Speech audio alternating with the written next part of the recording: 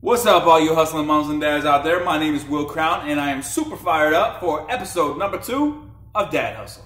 Let me start off by saying, May the 4th be with you. Today is May the 4th, though you're actually seeing this on May the 6th.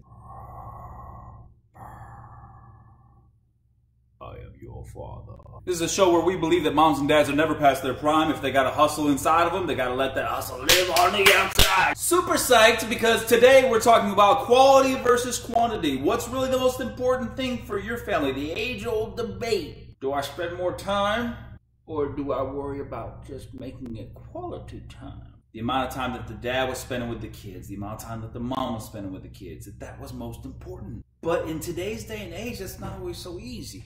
I mean, we're all working super hard, right? To be there every dance recital. Water polo competition? It's not always easy to be home at 5.30 for dinner. You know what I'm saying? Porridge, please, sir.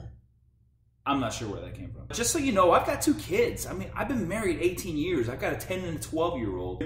I love my kids so much. They're everything to me. Once again, checking with Electronic Wizard. New study put out by the Washington Post says that making time for kids Study says quality trumps quantity. So when I am spending time with my family, I want it to be quality.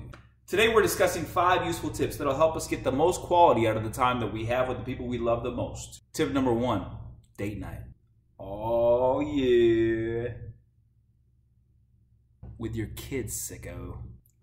And with your spouse. If I don't take my wife on a date every now and then, things aren't gonna be good at home. Just last night we went out and saw a movie, snuck some food in, used our MoviePass. What?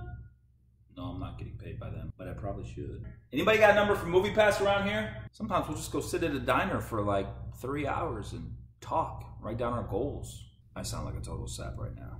But it's true. But there's another kind of date night. Dude, get your mind out of the gutter.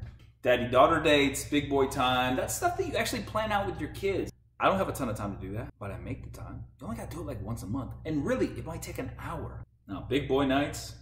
Dad, hey, Dad, you want to have big boy time? I know that means let's go take a piss in the backyard. And to me, I'm cool with that. Cross streams, just like the Ghostbusters. Sometimes we write our names in the dirt. You may not get it, but it means a lot to him. Okay, you think I'm crazy? That's all right. I'm just being real. I'm just being real with you. Like, that's what we do. It doesn't take a lot of time. Just the fact that you took the time to do it means the world to them. Tip number two get them little ones outside. Get them in nature. That could be anything horseback riding. Yeah!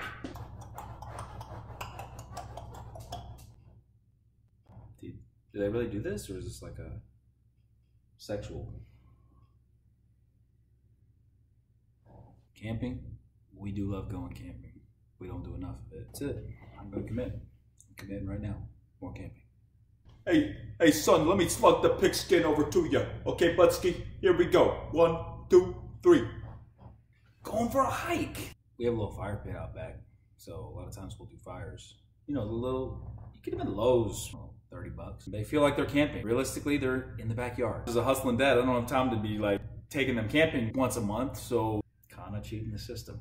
Don't judge me. I'm trying to make some memories here whoever you are, it really doesn't matter. The point is get outdoors. Get those capillaries open up. Get your family breathing, feeling good. It's a positive thing and it promotes a healthy lifestyle. Number three, one of my personal favorites, pajama runs. You might be thinking, what the hell is a pajama run? I'm about to change your life. A little bit about me. My dad split when I was about seven years old. Real talk. Not having a dad around actually molded my life in many ways.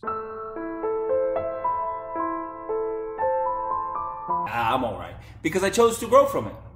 So my mom was a single mom with five kids. She was the epitome of a hustling mom. So she was always looking for ways on a shoestring budget that she can make our time together special. She would wake us up in the middle of the night, keep us in our pajamas, and bring us to a diner. Whatever's open. Probably not the best thing diet-wise. But it did make some lasting memories. Oh, hell no. Nah. I got limited sleep as it is. There's no way I'm waking up at 2 or 3 in the morning to take my kids out and waking them up spending money. Nah, hell nah. Disclaimer. My kid's bedtime is about 9 o'clock. 10 o'clock, I go up. So they just barely got to sleep.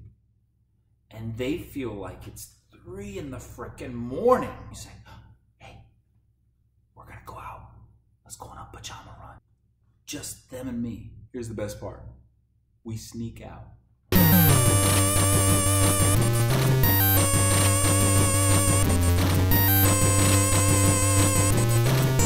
Then, of course, the next day they always spill the beans. Hey, mom, guess what me and dad did last night? It's awesome.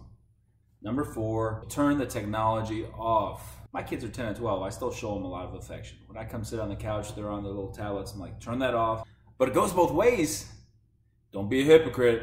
If you're going to tell your kids to turn off technology so you can spend a little time with them, you got to do the same. And that's not always easy. In fact, that can be very difficult, especially when we know we use these platforms to build our hustle. You've got to live in the moment. When you're with your family, be with your family. When you're working and networking and social mediating, be doing that.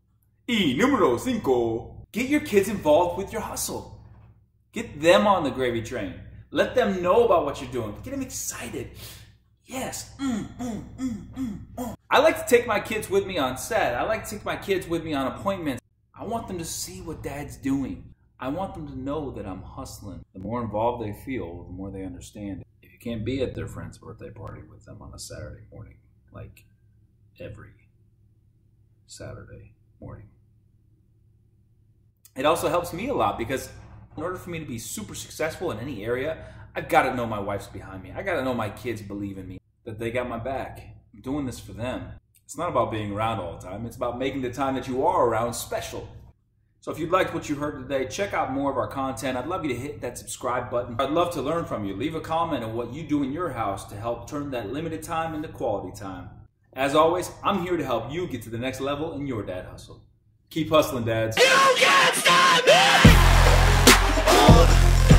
You